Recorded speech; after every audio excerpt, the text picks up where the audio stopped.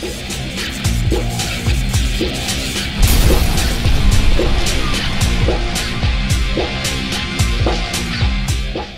guys, welcome to the video and welcome to this BC. This is the Piper PA44 Seminole. It's by Carenado and it's for Microsoft Flight Simulator 2020 and that's what we're going to be having a look at today in terms of a review. Now with time on tradition what we're going to do is look at the outside, the inside and we'll take it for a flight and see what we think. Now it's notable because this is the first payware add-on twin we've had for the simulator so I guess you could consider that it's a good point to compare uh, payware against the default aircraft in the sim. Now obviously being a twin engine it does handle different to a single engined aircraft and there's a couple of things we'll have a look at as we go through but this aircraft does hold some specific appeal for me. The flight school where I did my commercial pilot's license and my multi-rating had one of these aircraft and it was their instrument trainer so I thought oh you know great I'm going to get to have a go in, go in the Seminole but unfortunately, between me uh, starting my CPL and actually getting to the multi-engine part of it, uh, they stopped using this and they used the Diamond DA42s instead. Which is a real shame because this was uh, absolutely brand new, zero hours on the clock when the company took it on, and it ended up being used as a, an air taxi for ferrying crew and staff around. And I remember looking at it thinking, that is one sweet aircraft, I'd love to fly that, uh, but sadly never to be. Now as we'll see in the cockpit it's fairly old school with the panel, steam gauges etc as opposed to the nice widescreen tellies you get in a lot of modern aircraft. Uh, makes it nice and interesting to fly and if you're going to fly in uh, IMC, instrument meteorological conditions, then you do need to have a, a, fairly decent, and it's quite old school in that respect. There's also a couple of old school instruments in there, such as an RBI, relative bearing indicator. Okay, so at this point I'm just going to mention a couple of bits about twins. Uh, the first thing is uh, contra-rotating props on this twin. Now, not a, not all twins have contra-rotating props. Uh, contra-rotating props mean that they turn in opposite directions. So, for example, uh, this one turns in a clockwise direction when viewed from the front. This one turns in an anti-clockwise direction. I'm not going to go into the aerodynamics of it, but basically what that means is there's no such thing as a critical engine in this aircraft. But it also means, in effect, there's a lot of the engine internals are actually reversed. So the engine itself is it's not just a gearing thing. The engine itself is turning in the opposite direction. Now, in terms of uh, twin engine props, one of the things to uh, to be aware of is that if you lose an engine in an aircraft like this, I mean the engines are only 130 horsepower and it's quite a, a hefty thing to lump to lug around. But if you imagine if you have one dead engine and you go from 260 horsepower to 130, then you lose an awful lot of performance. And some of these aircraft will struggle to climb single engine at you know 100 to 200 feet per minute.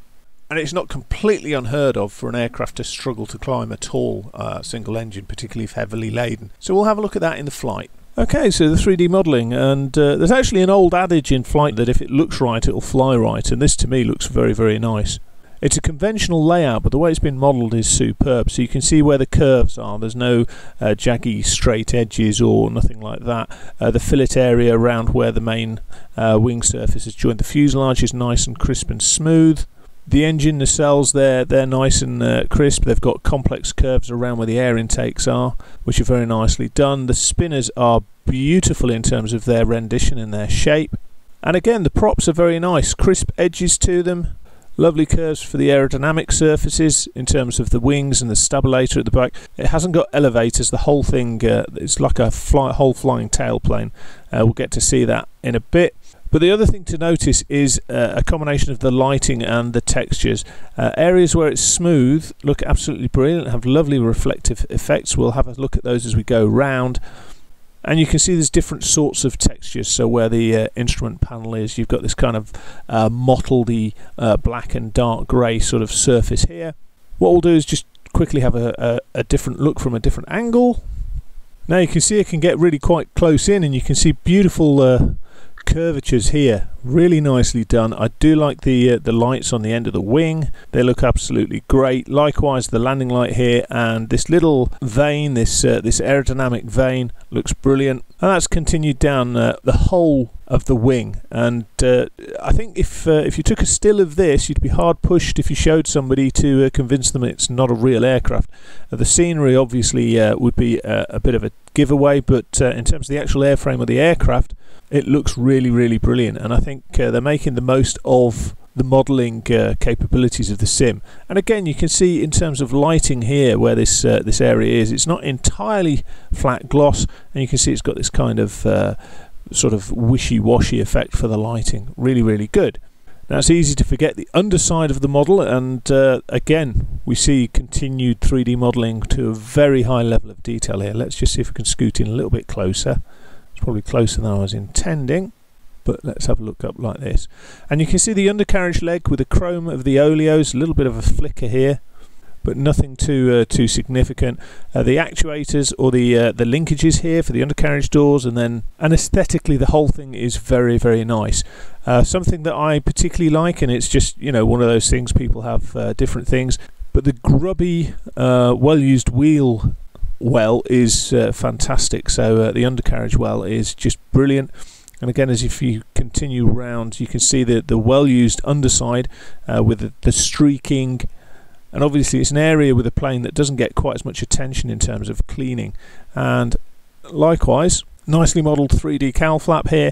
Uh, you can see some of the oil staining around and the exhaust stubs are lovely. But I think you'd have to say it's superb. And again, you can see nice attention to detail with the, the lovely section of the fillet down here. A very complex piece to model, and uh, a lot of developers don't do a particularly great job. It's something worth looking at if you look at uh, modelling. Uh, step over here is nicely done. And obviously, being a Piper, it's got that rather unique characteristic of only uh, one side has a door. Now again, this is uh, the lighting's not showing it to its best here, but this is a, a sort of a dappley matte dark grey colour uh, which is the anti-slip walkway to get up into the aircraft. But the rest of it, you can see the sheer gloss shine of the panel work. But once we get inside, we'll see a different aspect of the 3D modelling that uh, I absolutely adore. It's not something that I've seen done to this level or to as well as this uh, level as demonstrated by this uh, this add-on. So without further ado, let's jump inside. So as you join me inside, you can see I've set the time slightly differently because I want to demonstrate some of the elements of the uh, the graphics in terms of the imagery, the aesthetics, etc. Uh, the first thing I'll point out before we start chucking lights on is the kind of different chrome effect here from the lighting. Really, really nicely done. Now I'm just going to get rid of the yokes so that we get a better view of the panel, but what I want to do is come over here and have a look at this. Aluminium aircraft, unlike composite aircraft, generally always have some sort of dings or ripples in the surface, particularly where there might be uh, underlying spars or ribs that the wing surface is attached to, or where it just picks up hanger rash where things get uh, bumped into, knocked into. And so what we've got here is a really, really lovely aesthetic for it in terms of the 3D modelling for the ripples and bumps and also the lighting, the way it comes over. And it really, really is fantastic to look at. Uh, likewise, in terms of the engine uh, cowlings, really nice. You can see the, the ripples around here and down here and around here. Really, really nicely done. And if you zoom quite close in, you can see that uh, there's a very, very good effect of things not being quite as flush. A sort of depression of one of the fixings there. I think they're more obvious here in terms of uh, where the fixings are pulling the, the cowling in and down here as well. You can see you can get quite close and the screw heads are still uh, obvious although some of the texturing is just starting to lose uh, the clarity but the paintwork is crystal clear. Absolutely beautiful. Uh, have no qualms whatsoever about it. And the 3D modelling just goes to uh, next level with this area here with the complexity of the curves of this uh, this fairing this uh, filleting around here. And again different levels in terms of here's your cover for the uh, leading edge and then here's your main uh, wing surface. Again different reflective natures to them different lighting uh, different sort of materials because these tend to be uh, more plasticky whereas this is aluminium. But really really nice. Now at this point it's kind of a bit like MC Hammer. You can't touch this. There's uh, three areas that I'm aware of, but I've had quite a few uh, crashes to desktops where I wasn't really aware as to what was happening. Um, there are some bugs in here, and they're to do with the cockpit animations that I can see. You can't touch this because if you click that, despite the nice enticing hand, you won't open the window, you'll crash to desktop. Uh, you can't change the sun visors because uh, the nice enticing hand is saying crash, crash, crash, and likewise this door handle. So you can't see what any of these animations are like at the moment. Uh, now, I know that uh, there's been mention of the forums, and I'm quite sure that Carenado are aware of it, but obviously Carenado are dependent on uh, MSFS uh, Asobo, however you want to consider it, to actually upload any uh, fixes or patches they do. Now, looking around the cockpit itself, the 3D modelling is fantastic in terms of things like the pedals, uh, the handheld microphone, which is very old school. Uh, the the throttle quadrant is very nicely done. Door pockets, uh, handholds. The seats are just a work of art. You know that looks real worldy to me. Uh, likewise, you know the the thread, the stitching, and the the joining of the leather panels and the seatbelt is just amazing. Look at that you know that you look at that and that's true to life really as far as I'm concerned.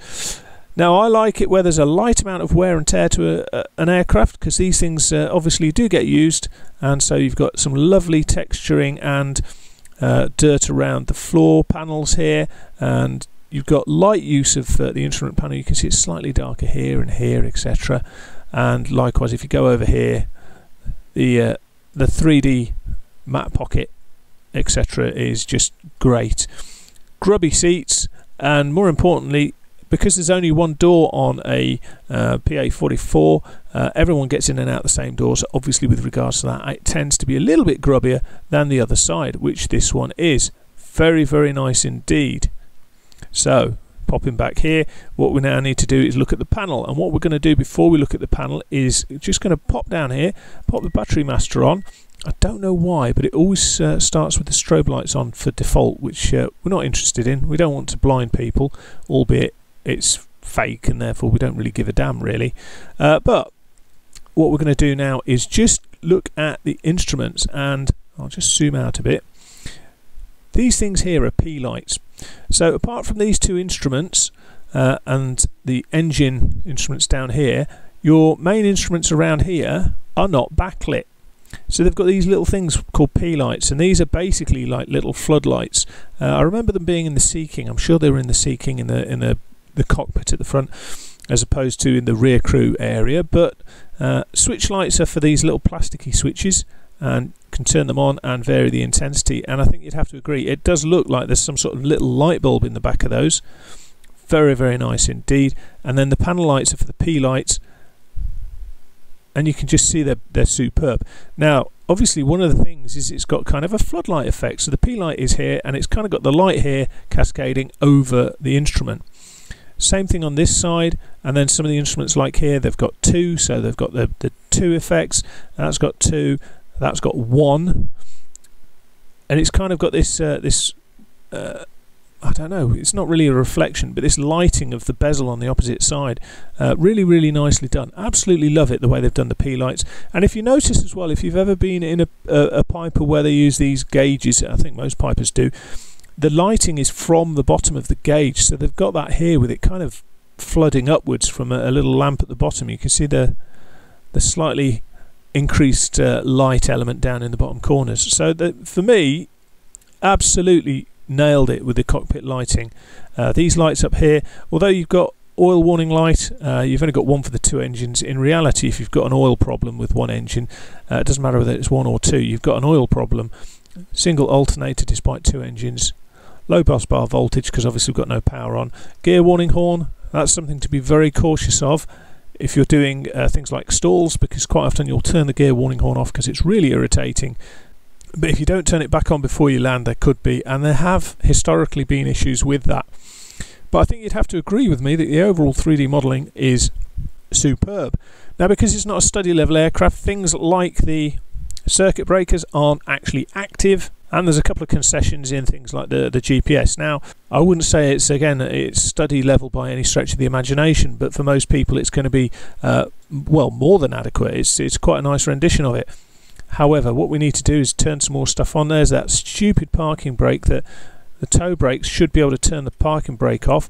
And if you operate that, you can see it actually moves the toe brakes, but yet as a pilot, you can't do anything. So bugs me, bugs the hell out of me. But that's sim as opposed to uh, Carenado, the, the sim encoding or the sim coding, I should say.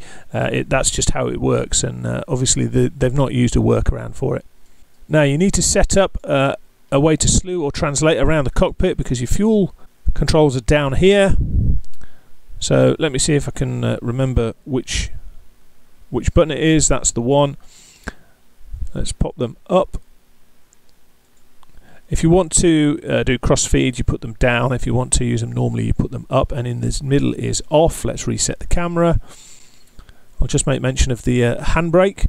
Not handbrake, this is your flap lever, common to a lot of pipers, uh, so you don't need to worry about having electrics or any anything else in terms of flap operation. It's uh, absolutely uh, completely 100% manual.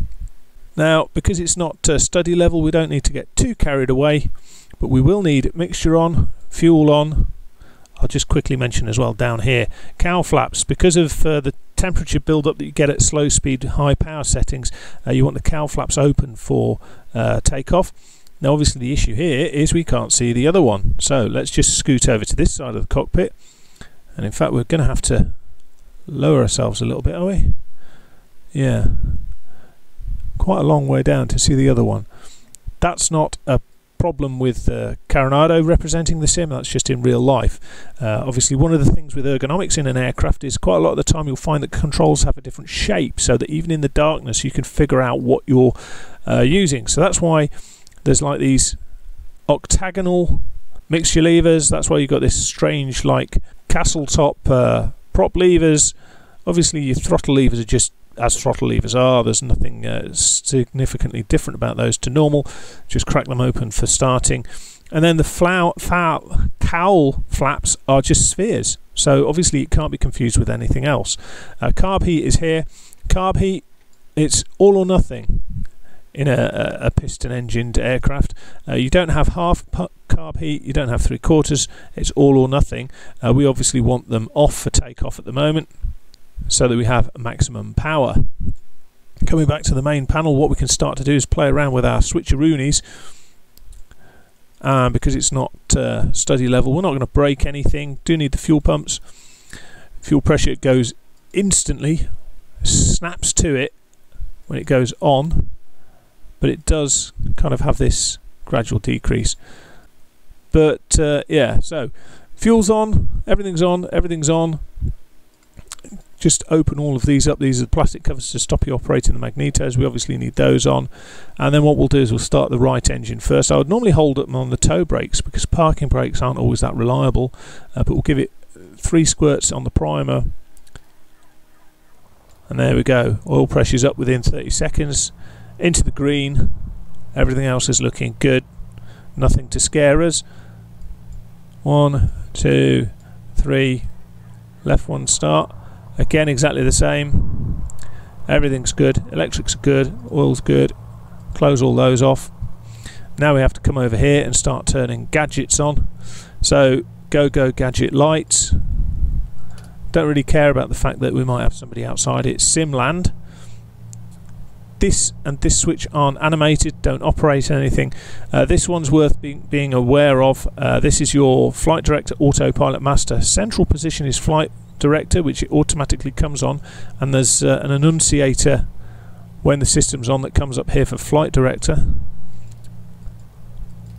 In fact, there we go. Just had to recycle the switch. Flight director's on, and then over here you've got uh, your temperature controls. Uh, we will put the Peter. In fact, we don't need it here. It's nice and uh, nice and warm, but we don't need any of that. These are animated, but obviously it's a computer we're not getting hotter or colder by uh, what's going on there. Nice little vibration effect, obviously with the uh, the slip ball there. And obviously, being the uh, traditional six pack, it's very, very good as an instrument trainer, or very good to learn uh, the skills of doing a scan on. So, just mentioning the scan, basically, what happens with the scan is that rather than just going and focusing on one instrument, a scan makes sure that you consistently and constantly check the performance and behavior and attitude of the aircraft. So, with a fully functioning panel, this would be your primary instrument, and then what you do is you look in various directions depending on your scan. Now, some people will do a scan like that, going around and around and around. I prefer to do the, the, sort of radial scan. So this is your primary instrument. You look at your nav, then you look at your airspeed, then you look at your altitude, then you look at your nav, then airspeed, then altitude, and do that. Now we're ready to go. One of the things I want to have a look at really is uh, the engine performance and also uh, we'll do an engine failure after takeoff, shortly after takeoff, but not uh, as we plummet off the end of the runway, just to see just how little climb this thing will have as a twin. Uh, and I think uh, it, it's quite surprising as to what if, what impact it's going to have. So let's take the uh, the ham the parking brake off. Sorry, let's just nudge that up a little bit. So cowl flaps both open, carb heats both off, all four forwards. Clear runway and off we go. And she'll accelerate quite briskly. It's not a problem St Bart's with a, a twin. We're looking for 70, 75 to uh, rotate. Airspeed's alive. 60, 70 and rotate. And looking initially to climb out at 88, so gear up. And we're going to turn away from that big hill.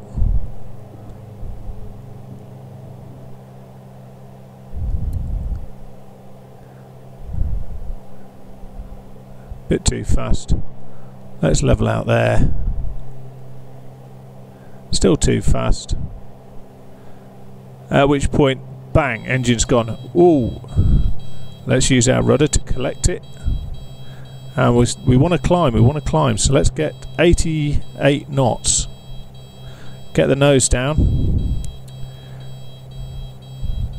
Then once we've got 88 knots, we're going to try and hold that with a pitch.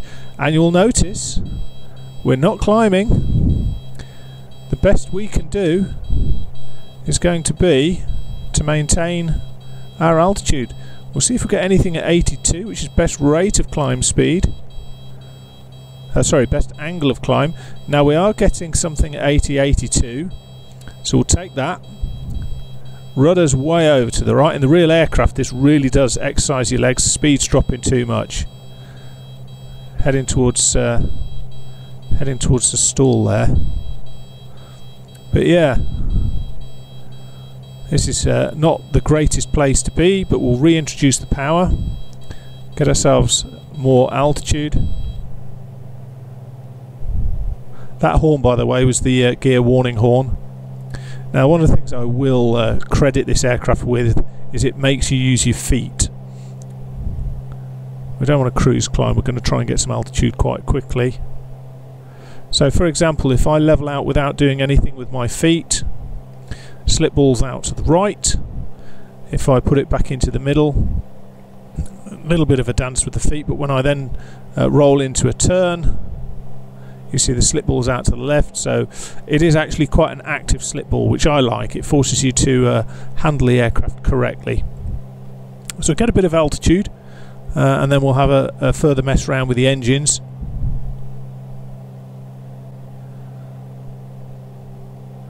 I mean, I have to say that handling she's really nice. Trim she's an absolute pig because that's just how it seems to be with, um, well, with FS 2020. Trying to get that balance where the trim's right is is just a nightmare. It, it's overly sensitive for my liking. But uh, yeah, with 92 that'll do. We're not going to fail a flight exam because we're in our own little aircraft.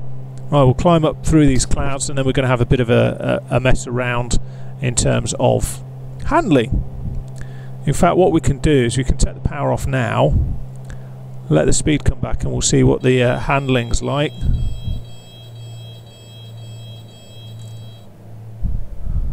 And we'll see which his uh, handles like at slower speeds.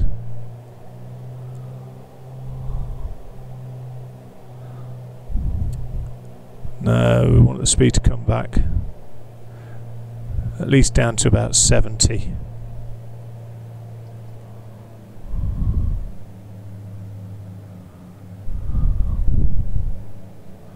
And yeah, okay, so there we go. Controls are quite woolly.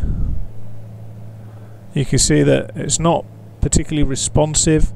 45 to 45 is quite slow which is very nice, very realistic. Elevator is as we would expect. Again, the elevator is not affected by the prop wash. So the elevator is only really affected by how fast you're travelling through the air. Uh, whacking a load of prop wash on won't really make any difference, which we'll uh, we'll have a quick look at that. Yeah, it's made no difference to that has made no difference to that until we speed up. So, let's just have a quick look at the stabilities. Don't need to be revving it that hard. It's uh, been a gotcha previously in aircraft, multi-engine aircraft, where they've uh, shut off the gear warning horn, well, singles as well, where they've shut off the gear horn and forgotten that they've shut it off, and then when they've come into uh, land, they've landed with their gear up. So it's one of those uh, gotchas that has happened in real world uh, flying quite frequently. Okay, just steadying ourselves out. What we'll do is we'll just bring. You should always throttle back and rev up. So when you're changing your engine settings, uh, bring your power back before your pitch. So we'll just go to. In fact, that's a mixture. That's just about to kill us.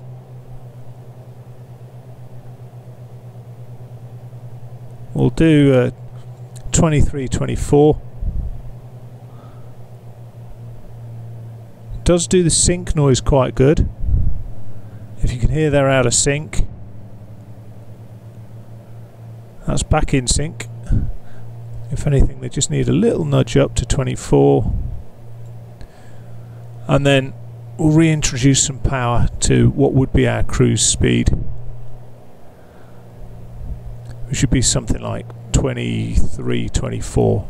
So when I say 23, 24, I mean 23 inches of manifold pressure, and uh, at 22. So we'll just nudge them up a little bit more, and then 24,000 RPM, and this should give us quite a quick, uh, quite a quick cruise. Just bouncing around a little bit in the weather.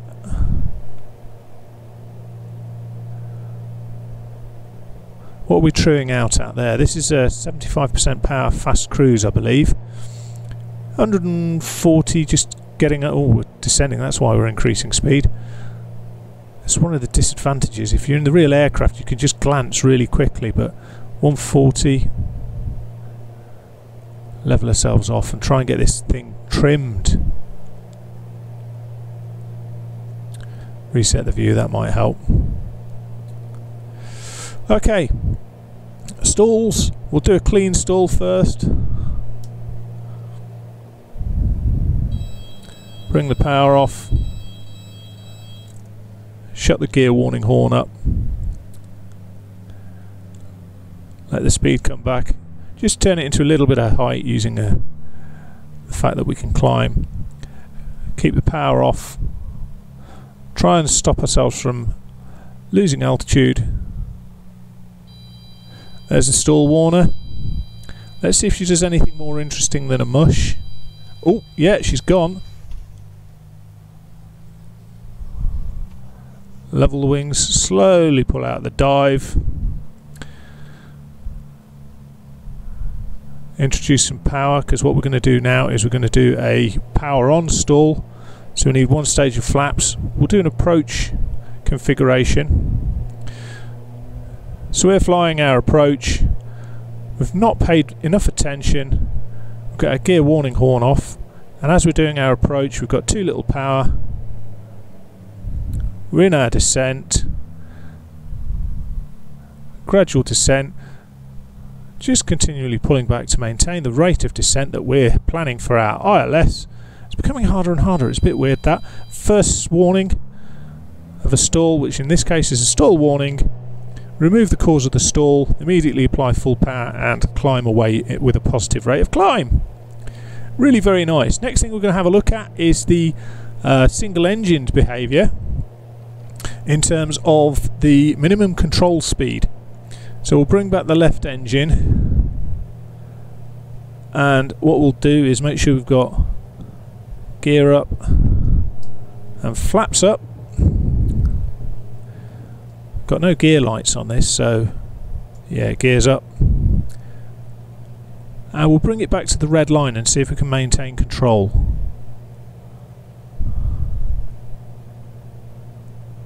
Right, so we're starting to approach the red line quite quickly. Slow it down, so we're reducing at about one knot per second. Don't want to be turning.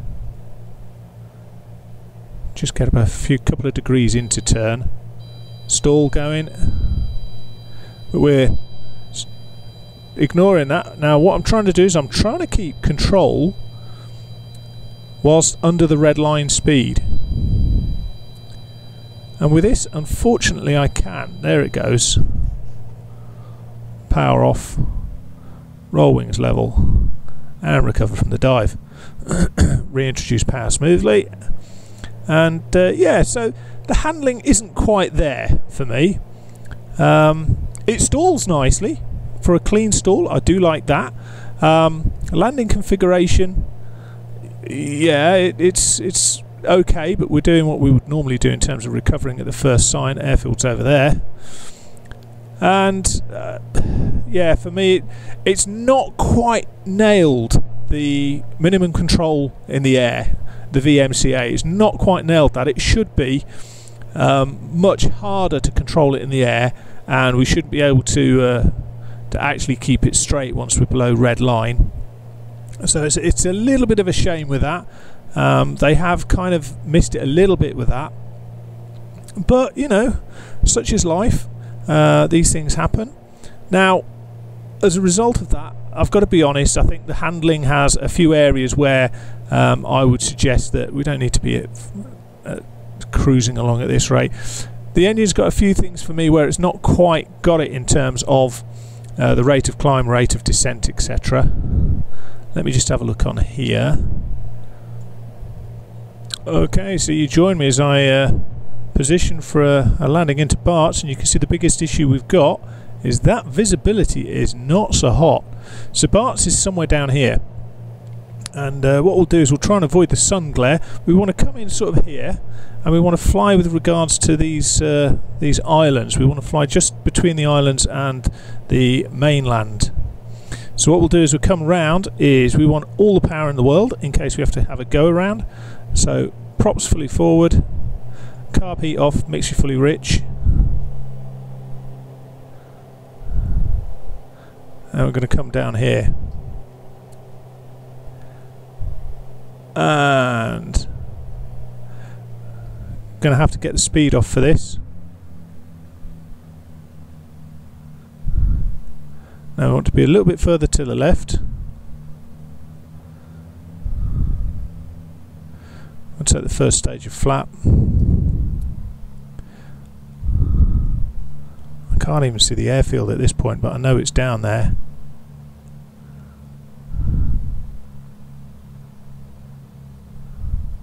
I think, judging by these two islands, we need to be slightly further to the right.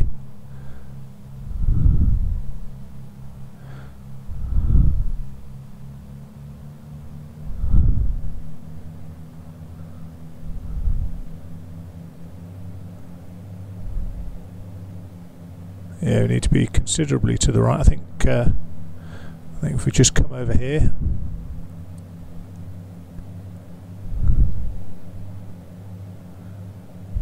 Yeah, right. So we need to come from where these two islands are and go over that that col, that dip in the landscape.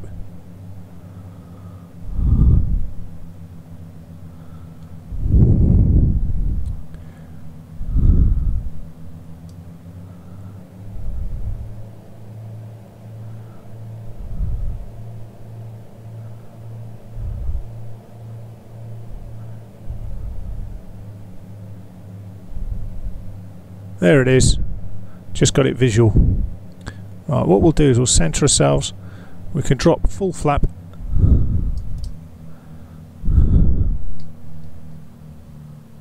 Gears down because we're not getting a, a gear warning light. But we'll just check visually as well. Gear down, three greens, red, blue. I'm going to keep the nose up. In fact, I'll see if I can just scoop myself up a little bit. There we go. Want to try and see if I can see the numbers. Don't want to go below 70. Coming in, there's the numbers. I want to just get to the point where I can see all the numbers. Bring the power right off because we're going to accelerate going downhill like a tobogganist. Let's try and uh, dance around a little bit. Now, the aim here is to get it on the ground. Don't uh, mess around because if it's not on the ground you can't brake. Oh, it's not pretty, but it's there. It's worth having a look actually on YouTube. There's a Seneca that comes in for this approach, just floats and floats and floats, and it goes off into the water. Well, actually, it doesn't get to the water, it just uh, stops on the beach, just short of the water. Right, let's bring it to a halt there. We'll uh, just uh, pop the parking brake on, and then we'll have a consideration about the aircraft. Okay, so outside fabulous absolutely love the 3d modeling uh, the lighting the texturing the different materials the use of uh, the fine detail um, just really really exquisite undercarriage very well done uh, the the dimples and the ri- sort of um, ridges and whatnot on the uh, skins of the aircraft brilliant absolutely brilliant um, I, I can't I can't fault it literally it's one of those uh, exterior models where you can't fault it Interior modelling is also very, very good. Um, its 3D modelling is brilliant. Uh, it's got a standard couple of things which are FS 2020 things, so like the parking brake. But overall, the textures, the the colouring, the the 3D modelling, the animations, what you can have in terms of animations, which at the moment are pretty much that and just the levers and switches, very very good. Uh, the downside is the bugs, so it's buggy with that and that, and we've discussed that. Um, but I'm sure in time that will fix. And if you just remember not to not to touch them, um, you're all right. But I think overall the interior for me is is really good. As I say, not study level, so circuit breakers don't quite work, and the GPS uh, I don't believe uh, it's fully functional, but it's got enough to get you going. Likewise, the autopilot it does function uh, pretty much really well. I mean, some autopilots and some aircraft are absolutely diabolical, but this one's actually okay. It's not too bad at all. Uh, the lighting is glorious, and the 3D panel in terms of instruments are glorious. Then we get to the final bit, which is the uh, flight dynamics. The flight dynamics for me are the the usual Carenado MS Microsoft Flight Simulator 2020 runs on rails. Um, in terms of stability, there's vague um, stability in terms of pitch, strong, very strong stability in terms of yaw, um, and it, it's just neutral in roll, which it should have uh, even mild positive stability with the dihedral of the wing. Uh, so for me, you can put it into a bank and it will just fly around, hands off, not a problem. Runs on rails, uh, which is not, in my opinion, true to life. In terms of uh, low speed handling, it's, it, it's wishy, it's washy, it's not really. Uh, it, there's not really much to comment on other than it. You are obviously aware of some of the cues that you're flying slower, increasing nose attitude, uh, for example, trying to maintain altitude. Uh, so it has some of the cues, but obviously you don't have things like the slipstream noise uh, to the same extent as you would have in the real aircraft. Now, obviously, high speed uh, it handles uh, much more readily. Um, there's a little bit more snap to it. Um, but what we'll do is just also mention that the stall, the uh, flaps up clean stall, was actually quite good. Uh, it, it's a better stall than uh, the vast majority of aircraft we've seen in uh, uh, Flight Simulator 20. In fact, it's better stall behaviour than all of the Flight Simulator 2020 aircraft we've seen. Um, one of the areas where it was, uh, for me, not so hot is the minimum control in the air, so the, the speed at which you can still maintain control uh, along a flight path with one engine dead. Um, it, it just it's not quite there. It's quite easy to keep this thing straight using uh, judicious use of the rudder. Um, so this, the single engine handling for me wasn't quite there. Uh, in terms of the asthmatic climb, it is, uh, but in terms of actual directional control below the minimum controlled airspeed, it isn't. And then finally, really, we came in and did an approach. Um, it flew it nicely. As I say, the only thing is it's Carenado handling, so it tends to run on rails. Uh, it's not that lively, uh, if that makes sense. Um, but yeah, I mean, overall, uh, it's it's quite nice. I enjoy flying it. Uh, it's very very good if you want to practice uh, doing some instruments. Obviously, it's got the standard thing in that it hasn't got ADF dip. Um, so you won't encounter that if you're doing instrument flying, uh, which is obviously something that real world uh, is present. But overall, I have to say I quite like the aircraft, and uh, I hope you enjoyed the review, guys. If you did, don't forget to tick like, share, and subscribe, and take care.